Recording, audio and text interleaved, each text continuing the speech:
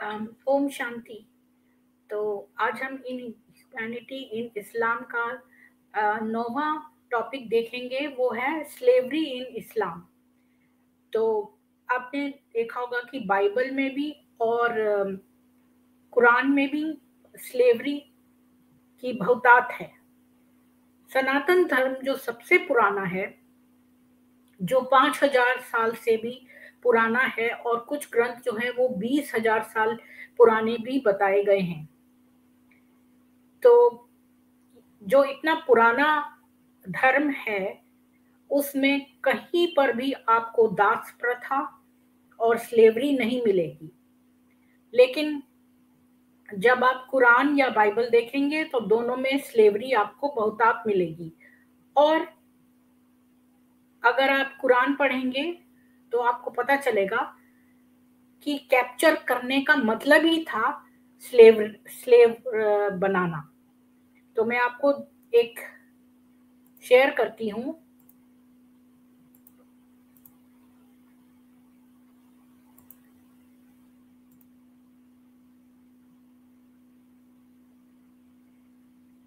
तो Reliance of the traveller ये एक बहुत ही ऑथेंटिक डॉक्यूमेंट है। जिसको उमदात अल सलिक कहते हैं तो ये कहता है according to Sharia when a kafir child or woman is taken captive by Muslims they become slaves by the mere fact of their capture. A captured woman's previous marriage is immediately annulled. तो इसके अनुसार शरिया के अनुसार, अगर कोई काफिर यानी कि कोई नॉन मुस्लिम बच्चा या औरत या यानी महिला को अगर मुसलमान बंदी बनाते हैं तो वो अपने आप से स्लेव हो जाती है, गुलाम हो जाती है by the mere fact of their capture यानी कि अगर पकड़ लिया तो गुलाम है ही। शरिया के अनुसार अगर किसी को भी पकड़ लिया तो वो अपने आप से गुलाम हो गया अगर वो नॉन मुस्लिम है तो। बच्चा या महिला। और अगर वो पकड़ी गई महिला जो है वो शादीशुदा है तो उसकी शादी अपने आप से कैंसिल मानी जाएगी। तो आपने देखा कि किस प्रकार से ये लोग शरिया जो है कानून कितना ही निर्दयी कानून है और कितना अनफेयर है ये। और महिलाओं को और बच्चों तक को ये गुलामी की उसमें खींचता है। गुलामी के नरक में खींचता है। और अगर आप काफिर हैं तो मतलब आपको पकड़े जाने का मतलब ही ये है कि आप अब गुलाम हो गए। अब अगली इनकी आयत देखते हैं, जिससे हम शो करेंगे कि कितने जो थे ये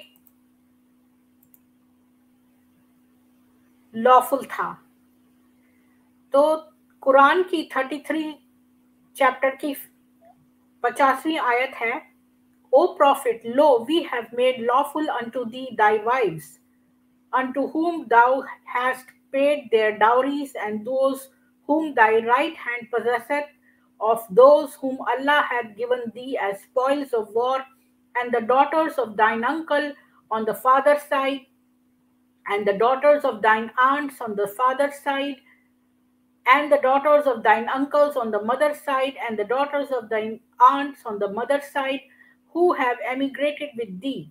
And a believing woman, if she gives herself unto the prophet, and the prophet desire to ask her in marriage, a privilege for thee only, not for the rest of believers, we are aware of that which we enjoined upon them are concerning their wives and those whom their right hands possess that thou mayest be free from blame, for Allah is ever forgiving, merciful. तो ये तैतीस की पचासवीं आय ये कह रही है कि ये बता रहे हैं मोहम्मद कि अल्लाह ने कह दिया है कि अरे नबी हमने तेरी को लॉफुल कर दी है तेरी बीवियाँ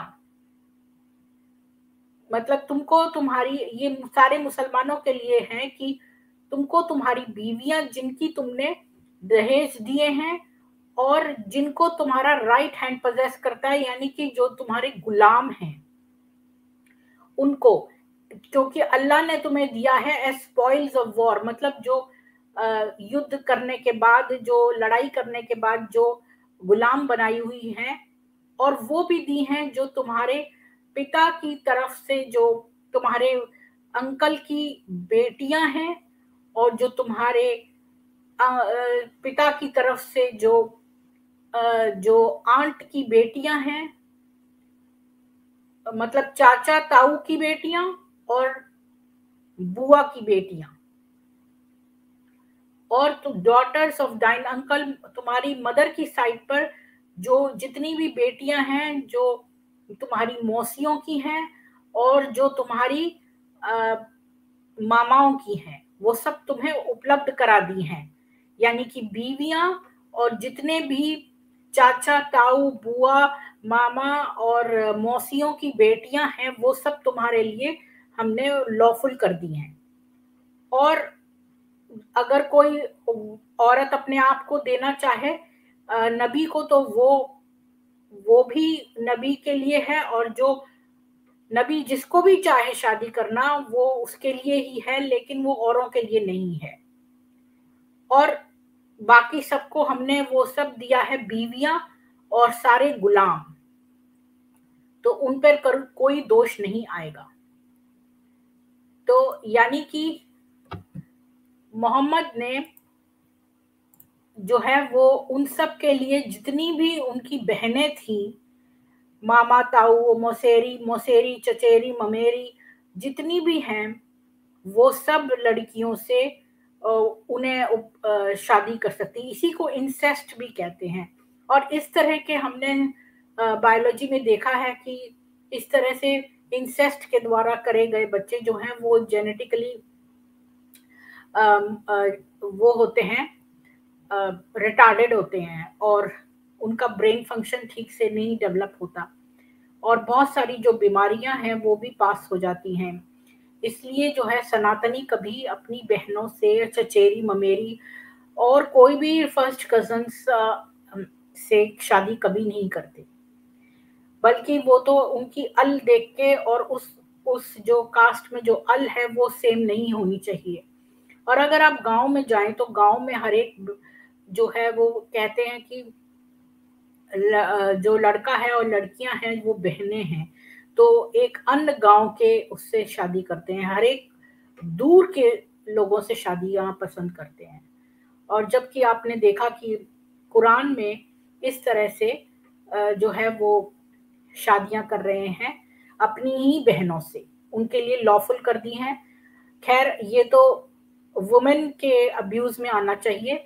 अभी मैं जो है वो खाली गुलामों का बता रही हूँ, उनका कोई भी उनके लिए कुछ भी उपलब्धि नहीं थी। वो अगर वो पकड़ी जाए तो बस इनकी गुलाम है। उन, और अगर उनकी शादी भी हुई हो तो भी उनके लिए कोई छूट नहीं है। उनकी शादी पुरानी कैंसिल हो गई और इनसे ये कैसा भी व्यवहार कर सकते हैं, ये इनको लॉफुल हैं। ये सारी गुलाम जो हैं, ये इनके कब्जे में हैं और ये इनके लिए लॉफुल हैं। तो अब अगली आयत पर चलते हैं कि अगली आयत में आपसे शेयर करती हूँ।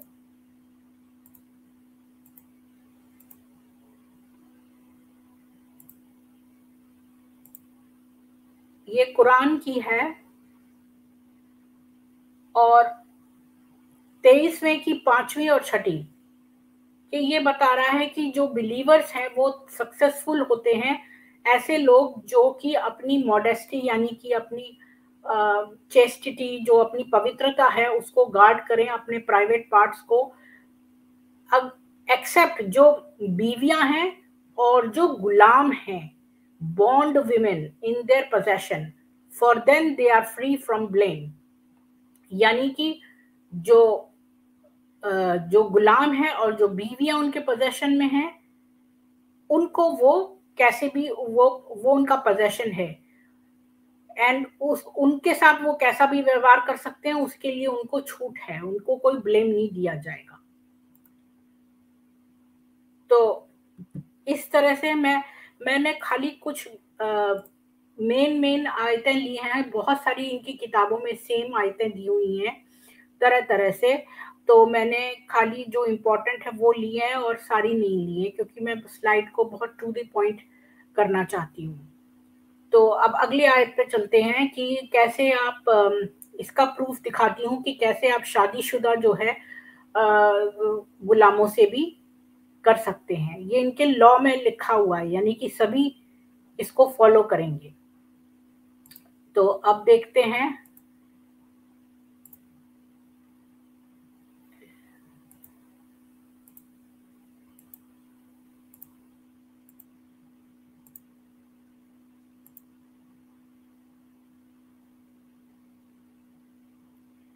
तो ये है चौथी की चौबीसवीं आयत। ये कुरान की and all married women are forbidden unto you यानी कि जितनी भी शादीशुदा औरतें हैं वो आपके लिए आ, हराम है। मतलब आप छू नहीं सकते उनको। Save those captives whom your right hand possesses उन गुलामों को छोड़ के जो कि आपका राइट हैंड पोजेस करता है, यानी कि सारे गुलामों को छोड़ के बाकी की शादीशुदा औरतें आपके लिए हराम है, लेकिन गुलाम चाहे शादीशुदा हो तो वो ठीक है। It is a decree of Allah for you ये अल्लाह की तरफ़ से भेजी हुई तुम्हारे लिए सौगात है। सौगात क्या मतलब? डिक्री है मतलब लॉ है। Lawful unto you are all beyond those mentioned so that ye seek them with your wealth in honest wedlock not debauchery and those whom ye seek content by marrying them, give unto them their portions as a duty, and there is no sin for you in what ye do by mutual agreement after the duty hath been done. Lo, Allah is ever knower wise. तो ये कह रहा है कि ये एक अल्लाह की मतलब सारी जो औरतें हैं शादीशुदा वो आ, आपके लिए उन्हें छोड़ दो लेकिन शादीशुदा गुलाम हैं वो तो आपकी हैं ही और ये तुमको जो है वो लॉफुल कर दी गई हैं ताकि तुम अपनी जो दौलत है उसे एक एक शादी में खर्चो ना कि व्यभिचार में। और अगर आप जो है तृप्त होते हो शादी करने में यानी कि किसी स्लेव से शादी करने में है तो give them their portion as a duty तो उनको भी आ, मतलब शादी करने की ज़रूरत नहीं है पर अगर तुम्हें मन करता है तो तुम कर भी सकते हो। उससे तुमको कोई सिन नहीं लगेगा और उनकी जो ड्यूटी है वो उनको देके। तो यहाँ हमने देखा कि जो है स्लेव वुमेन को आप जो है वो कर भी सकते हो। और मैं आपको एक दिखाना और भूल गई, इसके ही तरह से एक और है जो है ये सुनान अबू दाऊद की 2155 वाली है।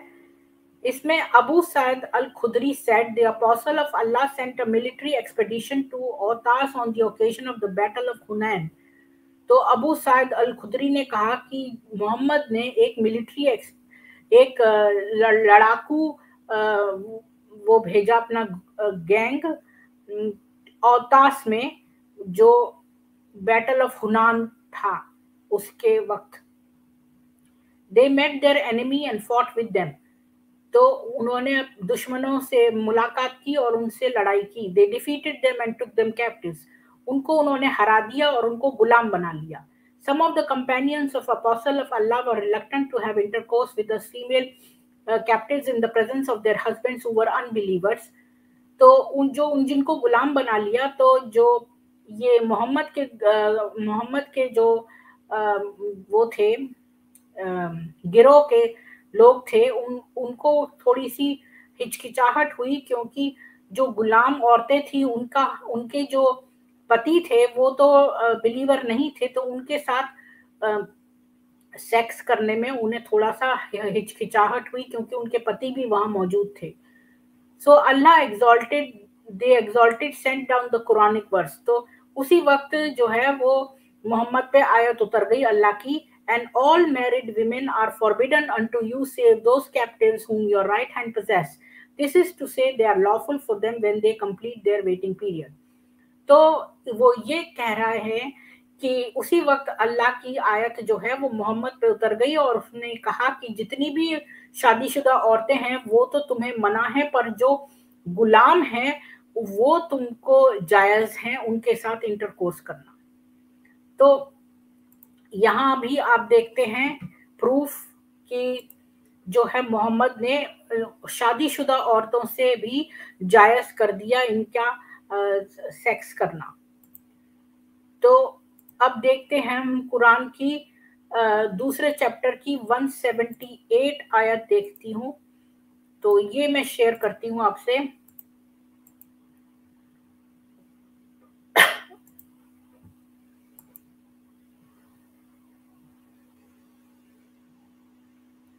O ye who believe, retaliation is prescribed for you in the matter of the murdered.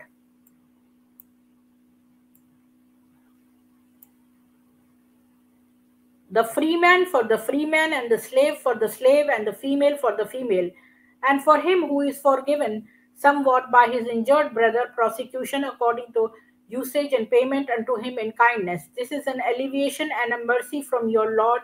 He who transgresseth after this will have a painful doom.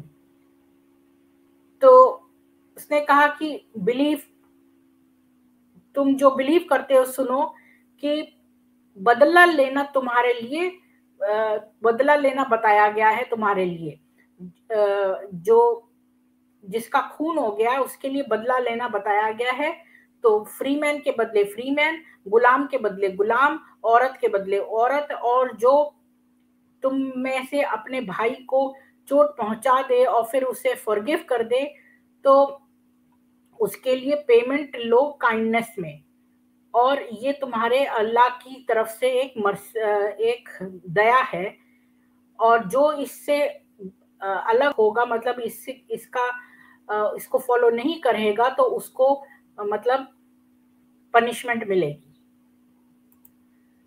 तो इसमें आपने देखा कि जो है वो मोहम्मद ने ये कहा है कि कैसे आई, जैसे आई फॉर एन आई है तो इस तरह मर्डर के बदले मर्डर पर हमने पिछले उसमें देखा था टॉर्चर में कि मोहम्मद खुद जो है उसके साथ जो चोरी करता था तो उसका, उसके साथ वो चोरी नहीं करता था, बल्कि उसको मरवा देता था बहुत निर्दयता से।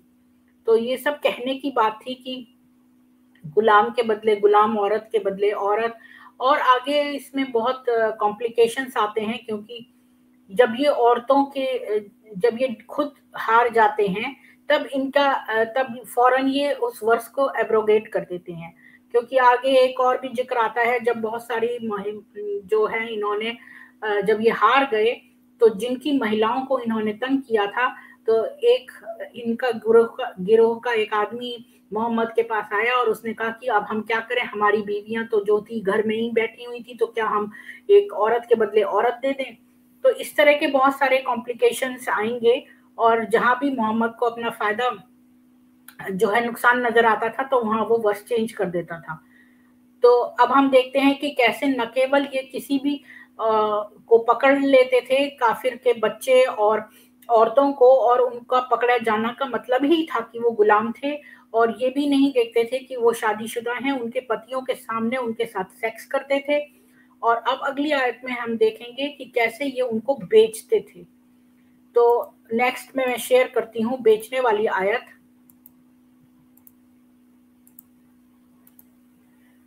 तो इसमें हम देखते हैं कि ये है आ, ये है सुनान इब्न माजा की 2517 तो Jabir bin Abdullah was heard to say तो जबीर बिन अब्दुल्ला को सुना गया ऐसा कहते हुए we use to sell our slave women and the mother of our children उमाहत अवल दीना when the prophet was still living among us and we did not see anything wrong with that. तो अब जब ये जो पकड़ी गई औरतें थी, जो इनके साथ वो सेक्स करते थे तो उनके साथ बच्चे भी करते थे। तो ये उन औरतों को आगे बेच देते थे। We use to sell our slave women मतलब हम अपने आप, अपने जो गुलाम औरतें थी, उनको बेच देते थे और वो मदर भी होती थी हमारे बच्चों की। लेकिन फिर भी ये जो है, उनको बेच देते थे। और जो उस समय मोहम्मद भी इनके साथ रहता था और उसने ऐस कुछ भी इसको बुरा नहीं समझा और ये वो बता रहा है जबीर बिन अब्दुल्ला कि जो है वो गुलाम जो थे और जो इनके बच्चों की माताएँ भी होती थी, उनको भी ये बेच देते थे। तो आप सोच सकते हैं कि इनके अंदर इंसानियत नाम की कोई चीज़ ही नहीं थी। यद्यपि वो उनके साथ उनके बच्चे हुए होते थे, भाई हम एक कुत्ता भी अपने घर में रख लेते हैं तो हमें उसके साथ इमोशंस हो जाते हैं, हमें उससे प्यार हो जाता है। एक कुत्ता भटक के हमारे यहाँ आ गया था तो दो तीन दिन में ही हमें उससे प्यार हो गया। जब तक उसका मालिक हमें मिला, तब तक हमें उससे प्यार हो गया। फिर हमें दुख हुआ, हमें याद आई उसकी। लेकिन ये लोग कितने शैतानियत के दरिंदे हैं कि ये लोग उन औरतों को पकड़ के उनके साथ सेक्स करते थे, उनके पतियों के सामने, और फिर उनके साथ बच्चे भी पैदा करते थे। लेकिन बच्चे होने के बावजूद इन्हें ऐसा कोई भी शर्म नहीं थी कि उनके साथ हम बिस्तरी करने के बाद उन्हें, इन्हें कोई भी उनके साथ अटैचमेंट नहीं थी, वो उनको वैसे ही बेच देते थे, जबकि उनके बच्चों की माताएँ होती थी, वो तब भी बेच देते थे। यानी कि कितनी की, कितनी ज़्यादा क्रुअल्टी आपने देख ली इनकी? तो अब इससे आगे मैं क्या कहूँ कि आप खुद सोच सोच सकते हैं कि दरिंदगी की सारी इन्होंने हदें पार कर दी थी। तो मैं इसी बात पर खत्म करती हूँ और ऐसे तो बहुत सारे हैं। थैंक यू कुलदीप, कह रहे हैं कि ma'am you are very bold lady thank you so much मैं मरना तो सभी को है एक दिन और जो है मैं सच्चाई को फॉलो करती हूँ और इसलिए मैंने बहुत सारे रिलीजन्स के थ्रू मैं होती हुई आई हूँ और मेरी ये जर्नी है। मैं क्रिश्चियन भी हुई थी मैंने राधा स्वामी फेथ भी अपनाया था। मैं मोहम्मदन उसको भी बहुत मानती थी बचपन में और मैंने बहुत सारी चीज़ें करी लेकिन कुछ पल जब ऐसे आए जब मैंने जिहादियों को सुना कि बहुत लोगों की जान लेने के बाद वो सोच रहे हैं कि वो पैराडाइज में जाएँगे तो फिर मुझे लगा कि आ, ये सच नहीं हो सकता। तो मैंने खुद देखा कुरान में ऐसा लिखा हुआ तो मुझे बहुत ही धक्का लगा क्योंकि मेरे जो दोस्त थे, वो सारी मुसलमान ही थी। तो ये लोगों ने ऐसी किताब अपने साथ रखी ही क्यों, जिसमें काफिरों के लिए ऐसा कहा गया है? तो कुलदीप सिंह, मैम, ऐसा क्यों कर रही हैं आप? मतलब मैं क्या कर रही हूँ? मैंने क्या गलत किया है? क्या आप मेरे से बातचीत करने आएँगे तो मैं आपको लिंक भेजूं? या आप टेक्स्ट करना पसंद करेंगे? या आप आना चाहते हैं लाइव मेरे से बात करने के लिए? क्या मैं आपको इनविटेशन भेजूं इसमें से?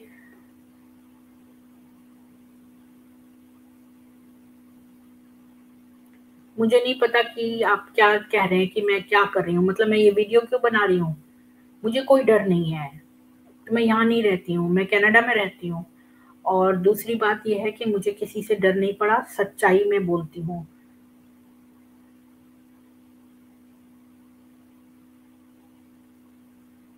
मेरे साथ? मतलब किस तरह से? मुझे समझ में नहीं आ रहा। क्या आप मेरे उसमें लाइव आएँगे? मैं आपको लिंक भेजूं। तो मैं लिंक कहाँ से भेजूँ आपको इनवाइट का? ये तो नहीं है इनवाइट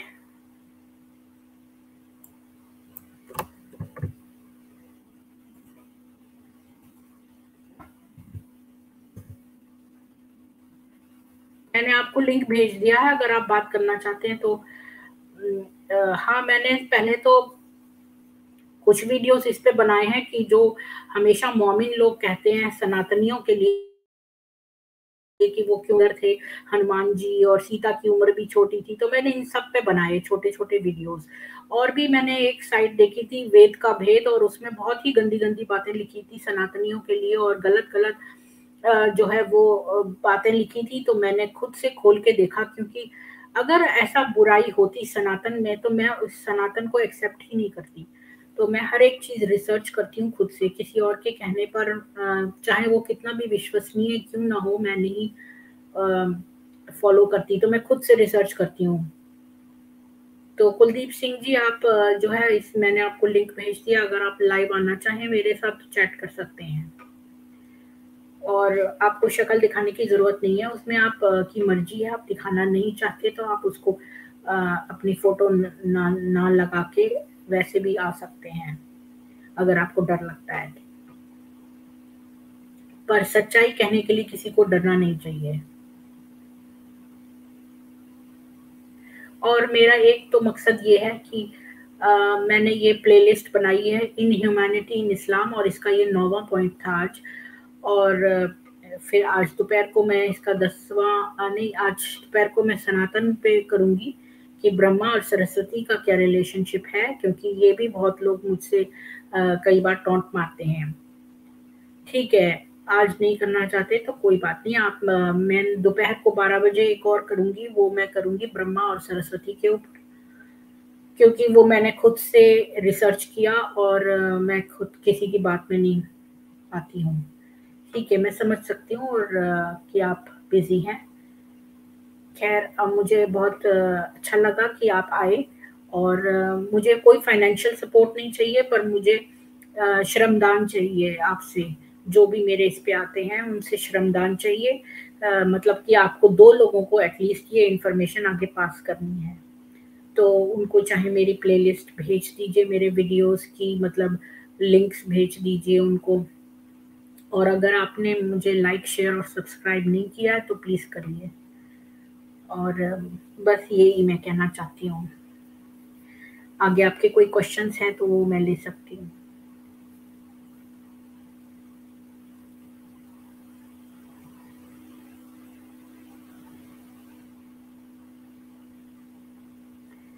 थैंक यू आप आए। मैं तो कई बार अकेले ही होती हूँ। मुझे कोई भी नहीं सुनता इस समय क्योंकि बहुत सारे लोग होते हैं वो आ, बहुत सारी स्ट्रीम्स चल रही हैं एडम सीकर की और आज मैंने एक एडम सीकर की स्ट्रीट में एक गोपाल को देखा ब्रदर गोपाल और वो ये कह रहा था कि सनातनियों में ये लिखा है कोई श्रीला प्रभुपाद ने एक गीता बनाई है उसमें उसने कहा है कि जो ये लोग जो नहीं नॉन बिलीवर्स हैं, ये डेविल हैं। पर ये सारे चीज़ें जो हैं, वो क्रिश्चियनिटी और इस्लाम दोनों में है कि ये लोग मूर्ति पूजक को डेविल बोलते हैं। लेकिन सनातन में ऐसा नहीं है।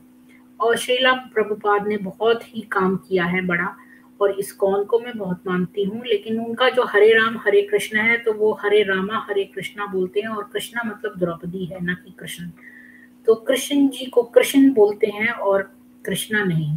और इसलिए हरे रामा, हरे कृष्णा की जगह हरे राम, हरे कृष्ण होना चाहिए। एनीवेज तो पता नहीं वो कौन सी गीता से कोट कर रहा था तो वो भी मैं बाद में देखूँगी। तो मेरा अगला टॉपिक जो होगा, इस प्लेलिस्ट में होगा फोर्स्ड कन्वर्जन और आप जो है, अगर आपने वो किताब नहीं पढ़ी है life of Mohammad by Ali Sina तो आप वो पढ़िए। वो बहुत अच्छी किताब है। और आपको ये भी पढ़नी चाहिए व्हेन आमिर मेट अनुष्का ये एक किताब मेरे को अमेजोन पे मिली और बहुत अच्छी किताब लगी मुझे। ये ये लव जिहाद पे है।